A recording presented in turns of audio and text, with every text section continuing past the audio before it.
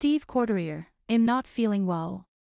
Am not sure I want to wake up. This time a year ago the Shrewsbury town manager Steve Cotterill was fighting for his life in the intensive care unit of a West Country hospital, so no wonder he will be emotional when he hears before the FA Cup third round tie at Anfield this afternoon. If that doesn't get the hairs up on the back of your neck, then nothing will, says Cotterill, who spent 50 days in hospital over two spells last year. I was a bit scared to go to sleep one night, because I felt really, really poorly and I wasn't sure I was going to wake up. Then the following night, I was that poorly that I went to sleep and I thought, ah well, what's the point in worrying about it because if I feel this bad I am not sure I want to wake up anyway.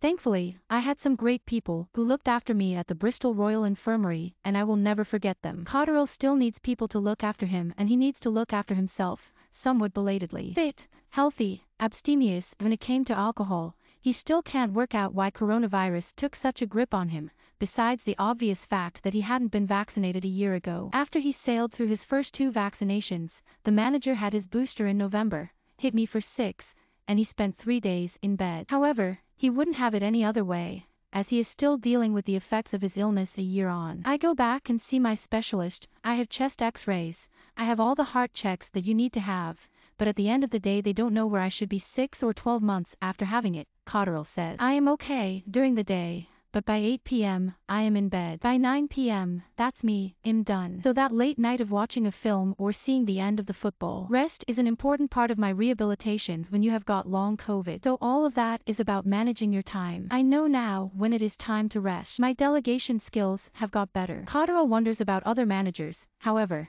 and wouldn't have to look far if Jurgen Klopp is in the home technical area, should he have emerged from isolation after contracting the virus. A lot of Premier League managers have gone down recently with it, Cotterill said. They have had a lot of games. Even when you have the best team, you have stress about the next game because you are under pressure to win it. Even before COVID, 9 out of 10 managers will have had coughs and colds because their immunities are low. I am trying to preach to people something that I didn't do but I would like them to learn from my experience. Take a little step back and look after yourself. How much Cotterill can switch off is debatable. The Shrewsbury centre half Matt Pennington spoke on Friday about games last year and Cotterill was in hospital, but couldn't fully stay away. The manager when he felt well enough was on the speakerphone at halftime, at full time, using every ounce of energy he had left from fighting the virus to spur us on. He was trying to help, because we were trying to stay in the league last year and it is a miracle that we did. My hours of sleep were all over the place, is how Cotterill remembers it. The amount of steroids, I slept very little over 24 hour periods, for weeks and months. I would wake up after a doze and write some things down.